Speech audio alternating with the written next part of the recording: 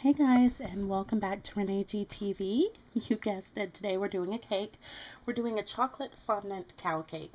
Um, and right now I'm just, basically I'm doing a crumb coat for my cake. This is a marble cake.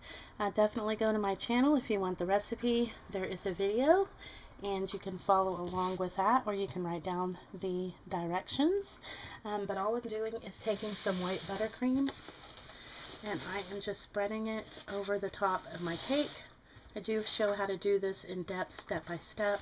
As far as a crumb coat goes, that is also on my channel, so go and check that out.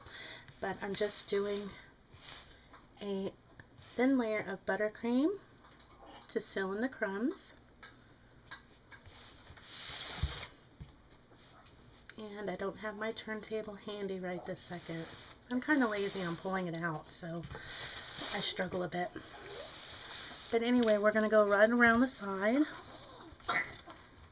That's my puppy dog having an allergy attack. Anyway, you're just going to go right around the side. And you are going to remove icing as you go. And like I said, we're just looking for a thin coat to seal in all of those crumbs. So I'm going to go ahead and get this done and then I'll bring you back. Uh, buttercream. So we're going to be back. Guys, my crumb coat is done. Um, this is a large cake. I'm not even sure how many inches it is, but it's large. Um, anyway, so my crumb coat is done. I'm going to let it set. And then we're going to add some neon green uh, buttercream. So we're going to be back. Guys, so here is our lime green cake.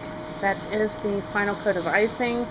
Um, it looks a bit rough, but that's okay. We're going to let it set up and we're going to smooth that out a bit and then we'll be back and we'll start the fondant decorations. We'll be back. I'm going to do this while the icing is still a bit tacky and before your fondant completely hardens um, because you want it to mold around side of the cake, of course.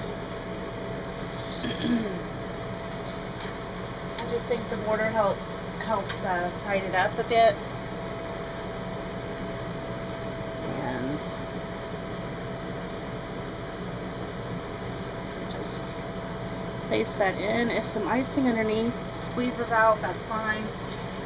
It's not that big of a deal. And we have our last piece.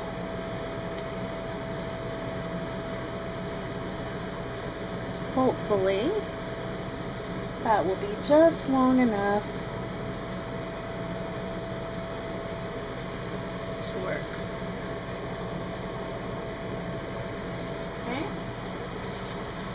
perfect.